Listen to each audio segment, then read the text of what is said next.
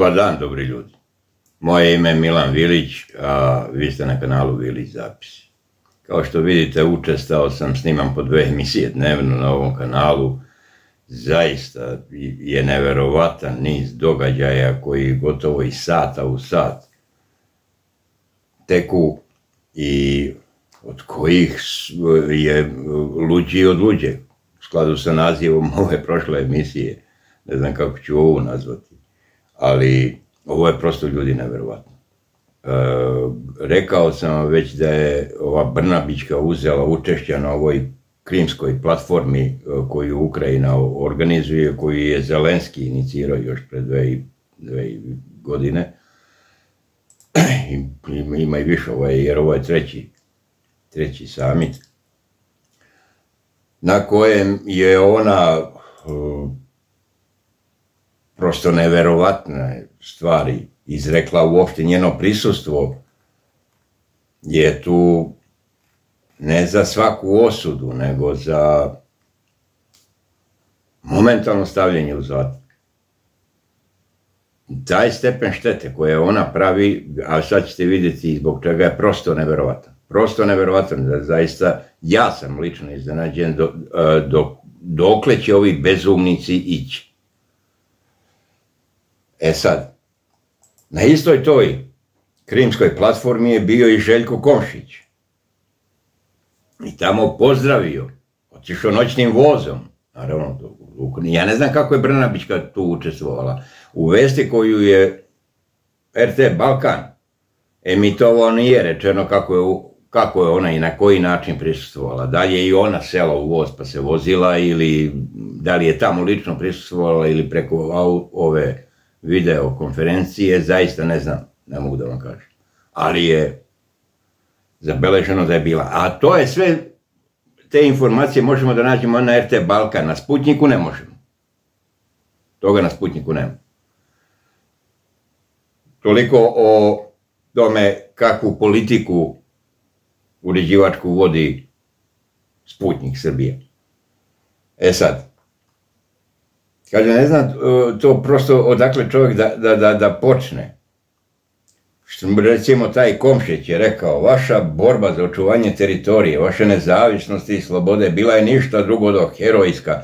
Svakodnevno nas posjeća koliko su mir i sloboda krhki, koliko se svakodnevno moramo boriti da očuvamo sobstvenu demokratiju i nezavisnost. Znači, floskula jedna, ali svrstavanje apsolutno na antirusku stranu gdje je završio svoj govor sa slava Ukrajini, jednim nacističkim pozdravom koji je opšte prepoznat kao nacistički u, u, u, međunarodnim odnosima, a naročito u Rusiji.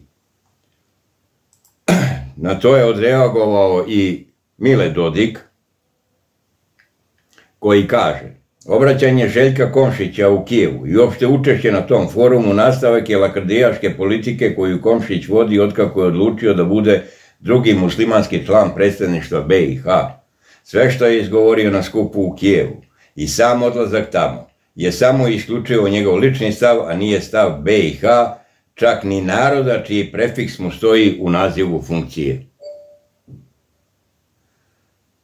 I što bi se reklo šlag na tortu.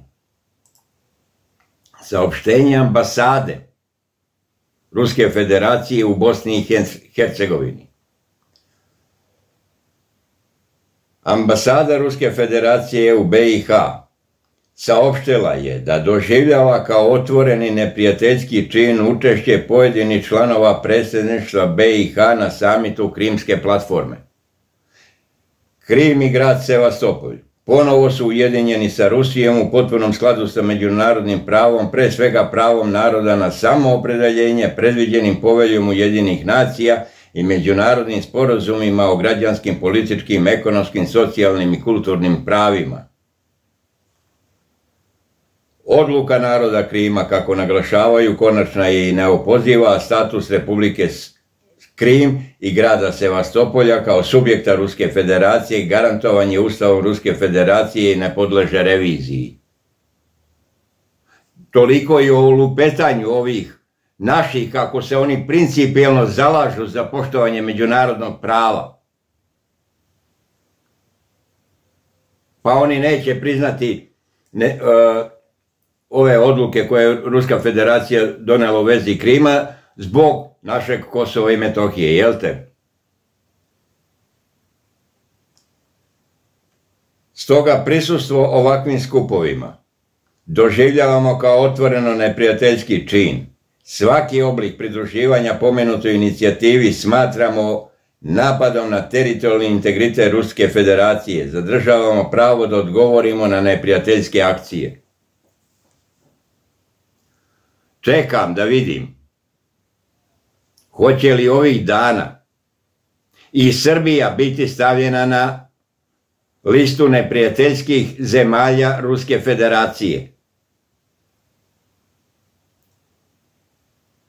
Stoga prisustvo ovakvim skupovima doživljavamo kao otvoreno neprijateljski čin. Svaki oblik pridruživanja, pa čak i da nije bilo lično tamo, nego preko video veze, pridružila se krimskoj platformi. Da li vi vidite gde je Srbija i kud su nas ovi monstrumi, ovi izdajnici kakve u istoriji videli nismo odveli? I šta se dešava sa našom rođenom zemljom? Ljudi moji, šta se dešava sa Srbijom? Da će Srbija biti stavljena na listu neprijateljskih zemalja Ruske federacije, da li će i Ruska ambasada u Beogradu isto tako saopštenje doneti izgleda da ga Rusi još važu. Ali ovo je apsolutno posljednje upozorenje, još jedan koračić. To će se desiti. Ako, ako već ne budu Rusi to uradili. Ova ambasada u Beogradu. Da li je moguće da ovo živimo i da ovo doživljavamo i da ćemo ovo prespavati.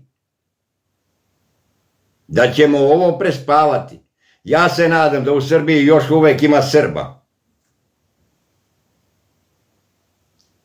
Sve vas pozdravljam i volim za carstvo nebesko u slobodnoj Srbiji. Živeli.